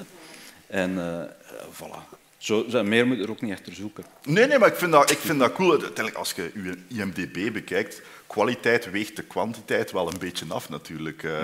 Maar voor veel mensen, zo de, de herontdekking van Koen de Bouw, zo met loft natuurlijk, zo rond 2008. Alzheimer, ja. Zaak Alzheimer, ja, de Vink en Verstuift trilogie zit er een beetje doorverwoven natuurlijk. Maar het leuke was, ik, ik sms'te naar Sven de Ridder, omdat hij net met u heel de set van Torpedo heeft gezeten. En ik zei, ja, je vindt niet zoveel van Koen terug online als in interviews. Hij, eh, eh, wat voor iets iemand, wat, wat vindt hij leuk en dit en dat. En, en hij stuurt van, ja, je weet toch dat hij ooit Groene Vingers heeft gepresenteerd? En ik zo, Nooit of ooit. ooit? Ik dacht, heeft ooit Groene Vingers? En dat is inderdaad waar, zo Ik rond twijfelde loft. zelf nog. Ja, want zij, Koen is, is eigenlijk een hele groene jongen. Hij is heel bezig met natuur en bomen. Ja, en, niet, en, niet, niet politiek bedoeld. Ja, ja, ja, ja, ja, Nee, nee, nee, nee. Rustig, rustig. Nee, nee, rustig. nee. Eh, nee, maar gewoon met de natuur, met dieren enzovoort. En, ehm, was dat iets uit je comfortzone? Van ik ga een natuurprogramma presenteren? Nee, ik wil, ik wil helemaal niks presenteren. En dat, dat heb ik ook altijd volgehouden. Ja, maar nee. En toen kwam die vraag.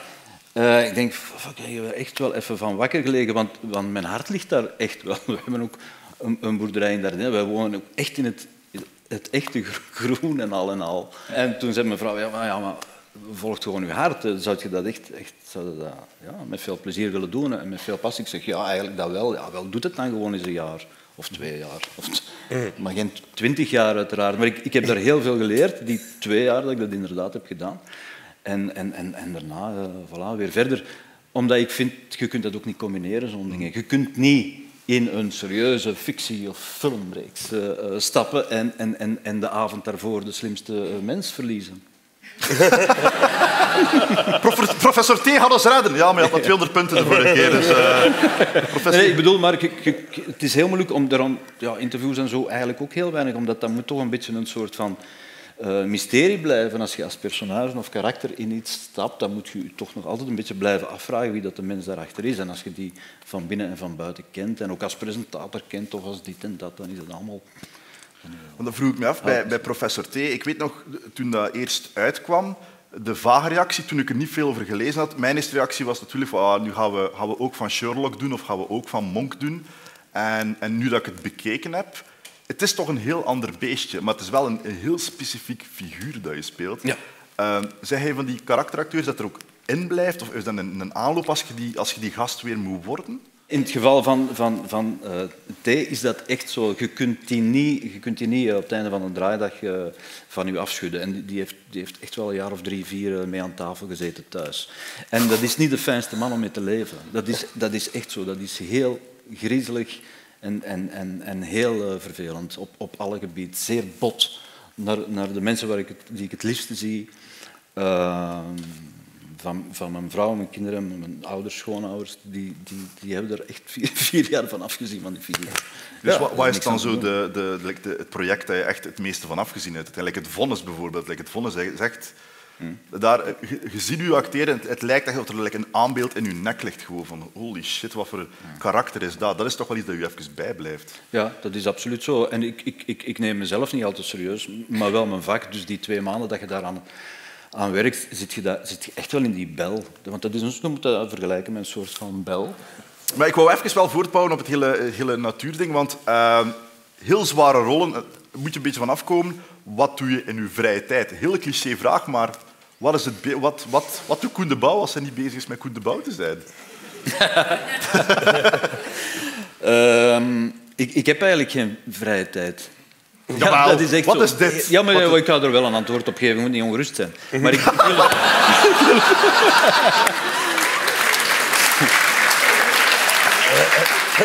Maar ik wil het even inleiden, want Ja, ik, heb, ik heb echt weinig vrije tijd. Dat, dat is echt zo. Wij staan op een, op een set, meestal om vijf uur opstaan, uw tekst nog even doornemen. Om zeven uur zitten daar in de eh, make-up.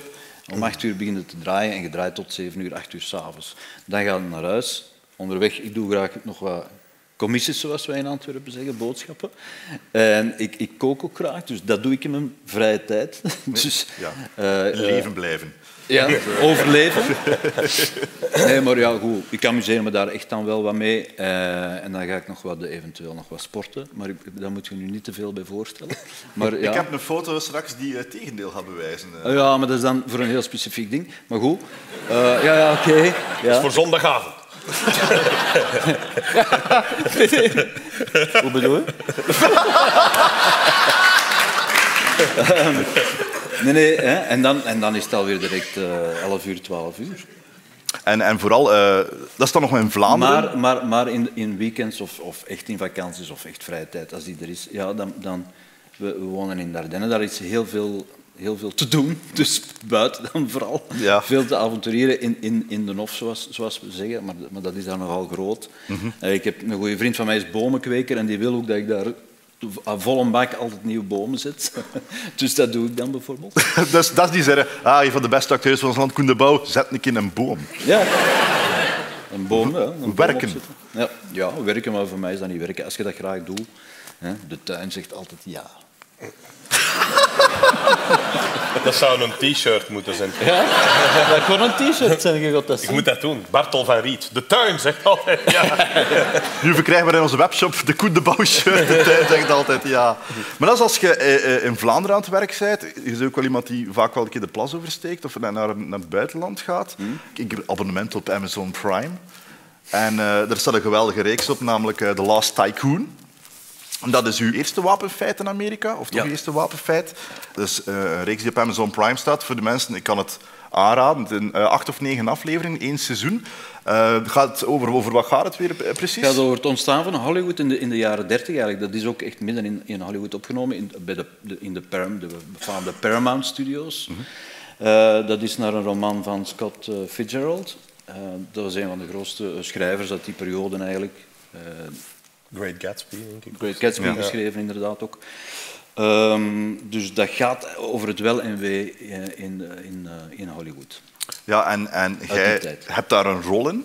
Eh, de, de reeks is eh, ja, jammer genoeg gecanceld. Niet voor kwaliteit, maar gewoon omdat ze zo heel erg duur was. Wel, het is te zeggen, Amazon, de, de- rijkste, dat is de rijkste man Ja. van de wereld, is de eigenaar van Amazon. En ik denk dat hij erg gefrustreerd was over het feit dat er zoiets bestond als Game of Thrones en dat dat niet in zijn huis gemaakt werd. Dus heeft, ze hebben de rechten gekocht van eh, Lord of the Rings. Ja. Wat gigantisch veel geld gaat kosten. Eh, Ze gaan dat eh, dit of volgend jaar maken. En dan hebben ze zeven van hun duurste reeksen eigenlijk eh, stopgezet. Waaronder de lijst Tycoon. Ja, en ik, ik vond het, en je ziet het ook, dat ze heel wat geld waard is. Eh, Het ziet er perfect uit die tijdsperiode uit.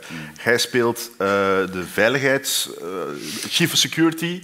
Ja, ja Van, een eh, fixer eigenlijk. Eh, ja. De fixer, degene die de zaakjes moest regelen. Dat ging soms heel ver. Eh, jammer, jammer ja, die mens is eigenlijk verantwoordelijk voor de, vooral voor de hoofdplot van het tweede seizoen, dat er dus niet komt. Oh. Maar zijn rol wordt daar aangezet in dat eerste seizoen. Hè. Maar dat loopt helemaal uit de hand. Dus daar worden moorden gepleegd en zo, eh, waar hij achter zit. En, eh, dat wordt, ja, in het eerste seizoen wordt dat eh, aangezet, maar zo'n fixer dat ging heel erg ver.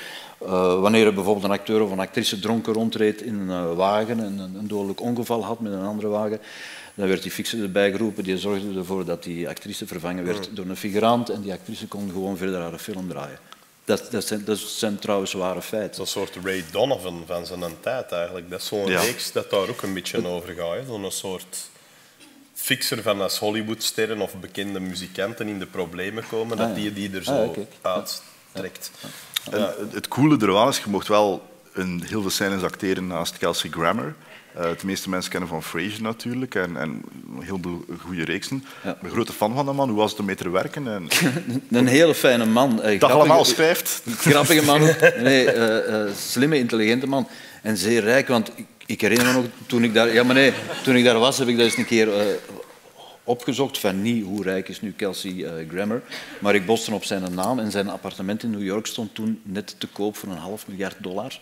En dat was dan één van zijn... Maar ik, ik kan me voorstellen, zo'n Fraser of Cheers in een tijd, dat loopt maar door en die rechten zijn heel die zijn leven... eh, maar dat is ook een, echt een ras, echt een acteur. Die, die speelt op Broadway, die speelt nog echt theater ook nog eens. Dus, dus dat is echt een, een geweldige acteur. Maar ik, een, na de eerste of de tweede eh, week eh, liet hij mij op zijn, eh, in, zijn, eh, in zijn kamer of loge eh, roepen. Ja. Waar gaat dit verhaal Klinkt naartoe? spannender dan dat het is. eh, maar, Stond Kevin ja, Spacey achter de deur? Nee, nee, maar hij zei eh, van, eh, hij zegt, eh, hij begon wel over vrouwen. Hij zegt, jullie hebben mooie vrouwen hè, in jullie land. En ik ging daar, eh, ik ging daar eh, even in mee.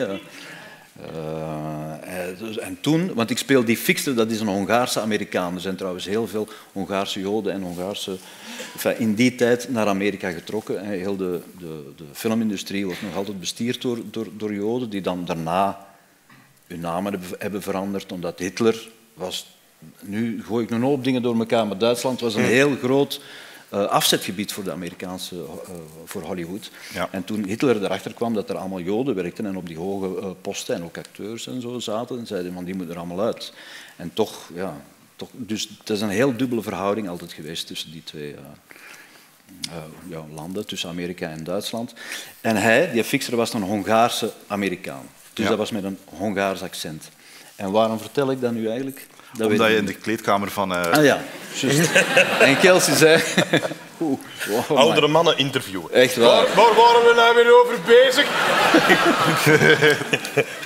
ik heb daar... Ja. Eh, Wees, ik, ja, nee. Ehm, maar, maar hij zegt, ja, in jullie land mo- veel mooie vrouwen, tot ik na een tijdje door, eh, door had dat hij dacht dat ik echt uit eh, Hongarije kwam. Ja. En volgens mij al die, al die pornofilms en zo, dat zit ook allemaal vol met... Ik weet eh, daar niks van.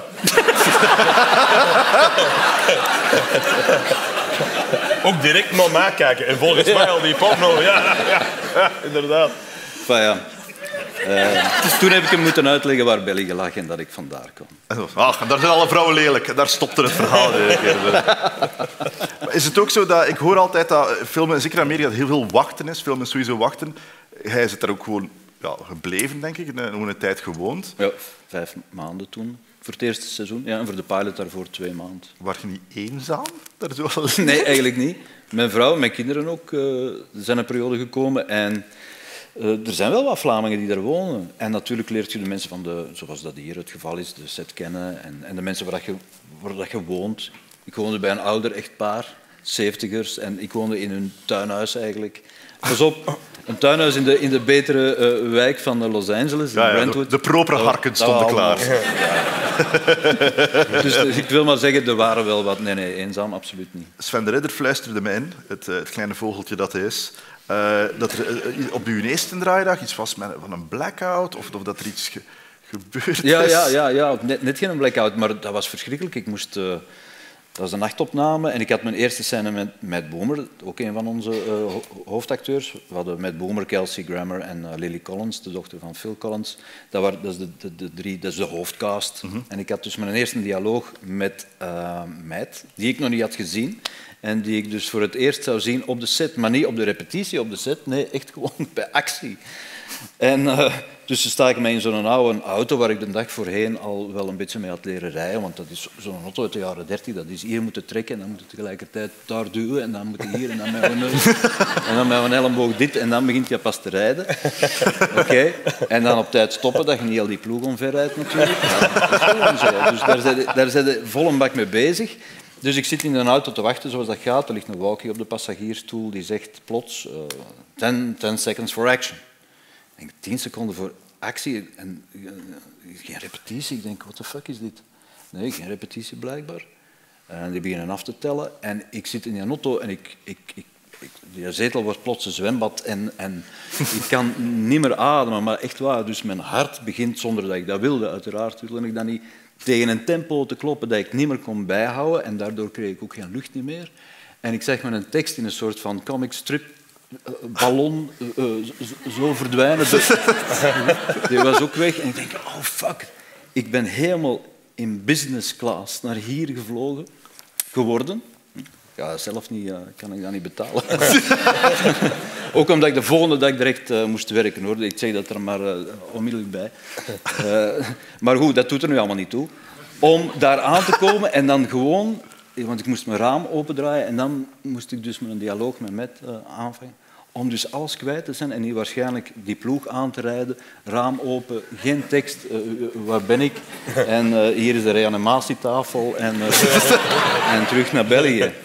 Dat is op het laatste momentje niet gebeurd, maar ik was in die staat. En toen dacht ik van, wat heb ik mezelf aangedaan? En als dit een paar weken gaat duren, dan ga ik dat ook gewoon nooit meer eh, doen of in mijn hoofd halen zelfs. Eh, want dat is een verschrikkelijke toestand. En dat, dat heeft echt wel een aantal weken geduurd voor, voordat dat een beetje kalmeerde. En voordat ik daar allee, ja, met, plezier, met plezier op de set stond. Dus, Kelsey Grammer die dacht, een rare Hongaarse acteur is dat toch, Ja. man. eh, rare gebruiken dat hij heeft. Ik wil het ook nog vlug hebben over eh, uw, uw project van dit jaar. Torpedo heet de film. Die komt eh, 23 oktober uit. Het is een film in een duikboot. Een Vlaamse film in een duikboot. Dat wordt lachen, hè? In de Schelde. Ja, dus eh, FC de Kampioenen 5, de duikboot. Eh, Het is gemaakt door een jonge ploeg, de, de producenten van, eh, van Patser. En dat is een scenario, een heel goed scenario. Eh, daar begint alles mee eigenlijk. En ehm, dat is een jaar of tien wel rondgegaan vooraleer dat een procent... pro- geen enkele producent durft dat aan. Hè. Omdat wij daar niet de budgetten hebben om dat echt op een geloofwaardige manier... Bedoel, Dat is echt heel ambitieus. Een duikboot, Tweede Wereldoorlog, dat is echt heftig. Dus niemand durfde dat aan. De producenten van Patser gezegd van oké, we, we gaan dat gewoon doen.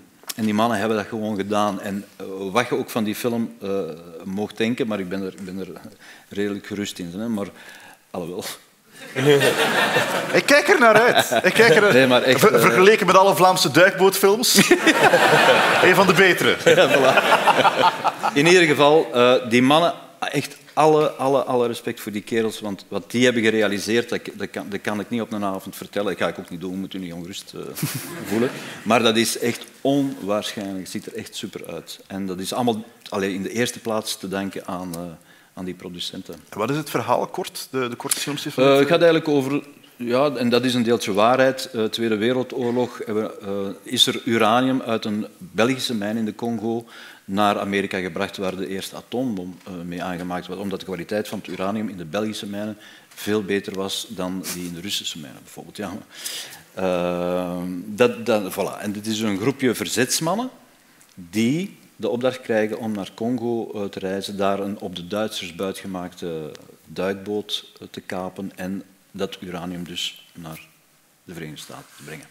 Ja, ik zag een foto op uw Instagram, want jij hebt ook wel eh, niet alleen mentaal, maar ook lichamelijk voorbereid voor deze rol. Ja.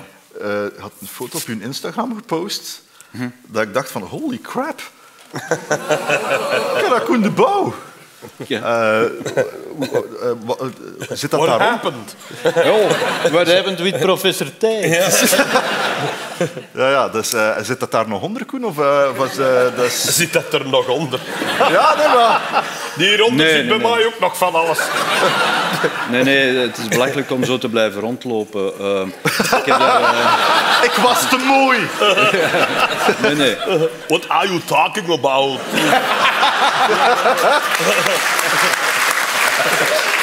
Supergoed. Ehm nee, nee, ja, ik, heb er, ik heb er wel... Als man van 54 is dat echt dubbel zo hard werken als dat, dat jij daaraan zou beginnen, Alexander. Stel, stel, voor je nieuwe show, eh, dat je jezelf dat wijs maakt voor mijn nieuw programma, moet ik eh, een beetje in de spieren komen. Hè? Ik ben al door al mijn gasten beledigd. Een gezonde geest in een gezond lichaam.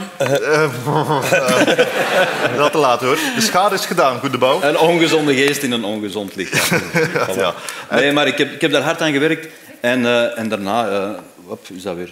dan, dan, dan, dat doe je dan niet meer zo intensief. Maar het is wel plezant om terug wat te leren sporten en dat een beetje te onderhouden. Ja. Trekt bomen uit met de blote hand, de Bouw. Die foto heeft me wel geïnspireerd. Ehm, heel in een, in een lang verleden had ik eh, een podcast waarin dat wij een, een spel speelden waar we ehm, vaak Amerikaanse films een Vlaamse cast geven. En eh, we hebben nooit een keer eh, de Vlaamse casting van een Batman-film gedaan. En hij kwam altijd bovenuit als de perfecte Batman. En ook als je naar die foto kijkt en je doet gewoon het bovenste deel van je hoofd weg, hij zou een keigoede Batman zijn. Hè. Je weet dat toch zelf. Hè. Ja. En, en je zegt, ja, bij 54, dan doen we The Dark Knight Returns, dat hem zo wat ouder is. Ik ga graag in bad, maar daar houden we het ook op, denk ik. Maar ik ga u toch vragen om, om, om mij een, nog één plezier te doen, behalve naar hier gekomen zijn vandaag. Ehm, ik, ik heb een klein beetje geprutst eh, online, een paar, een paar dingen samengekleefd. En eh, met de hulp van heer Agnew, als je wilt, een klein beetje Batman-dialoog te doen Oké. met mij en Alex Agnew. Hè.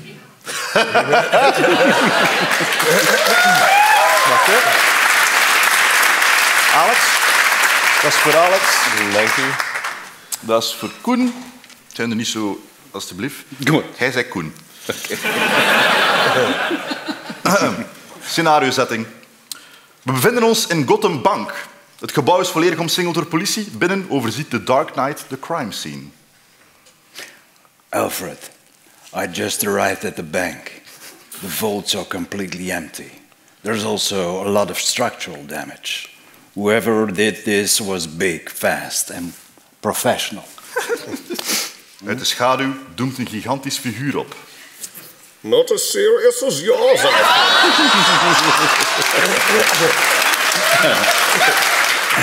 Bane, Members of the League of Shadows. And you betrayed us. Yes.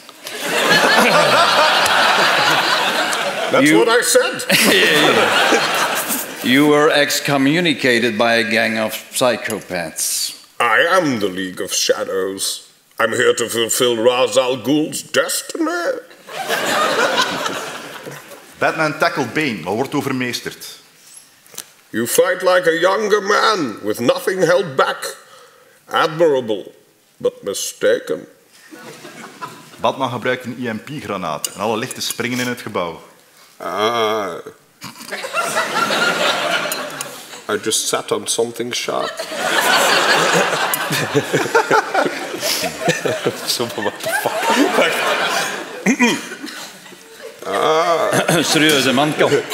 Ah. You look very handsome in those leather pants. Nee, nee, dat is niet dat. Sorry, sorry, sorry. Batman grijpt Bane vanuit, scha- vanuit de schaduw en rukt zijn masker los. Bane begint in te zakken. Komt hem binnen, de bouw. Komt Oké. hem binnen. You're feeling it now, aren't you? Ow. I want you to remember my hand at your throat. I want you to remember the one man who beat you and will beat you again. I am vengeance. I am the night. I am Batman.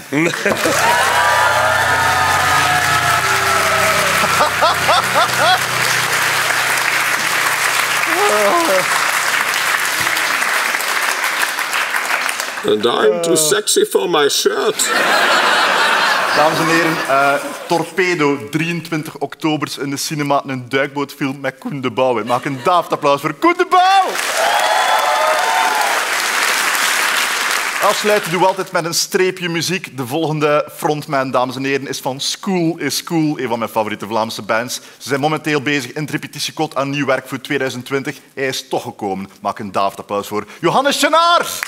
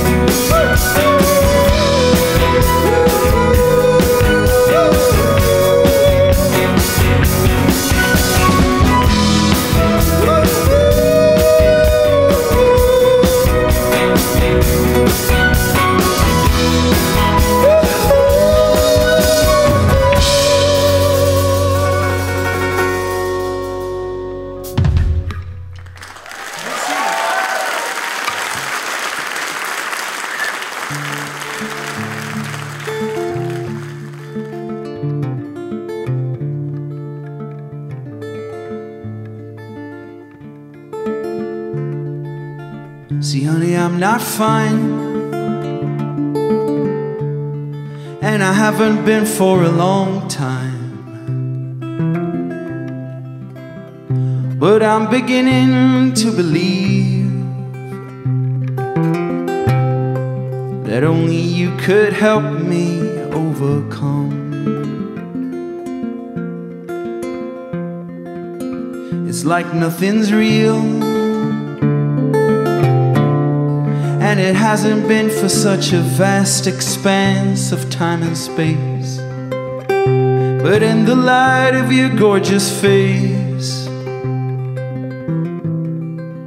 I can be distracted for a while.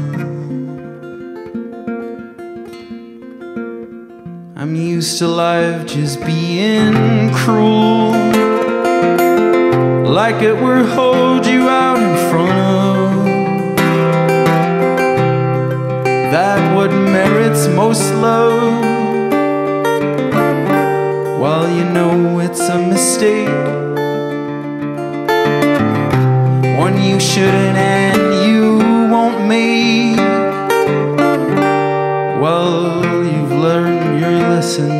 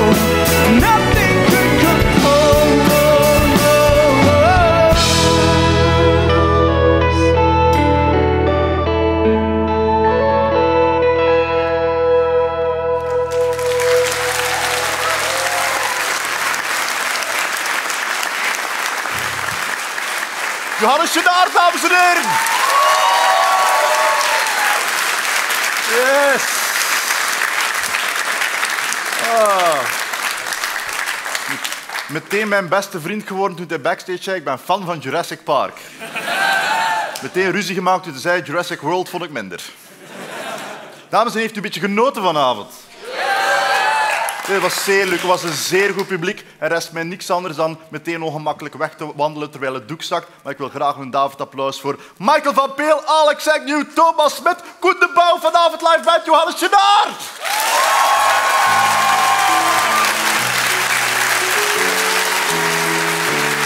De volgende keer, Xander de Rijken.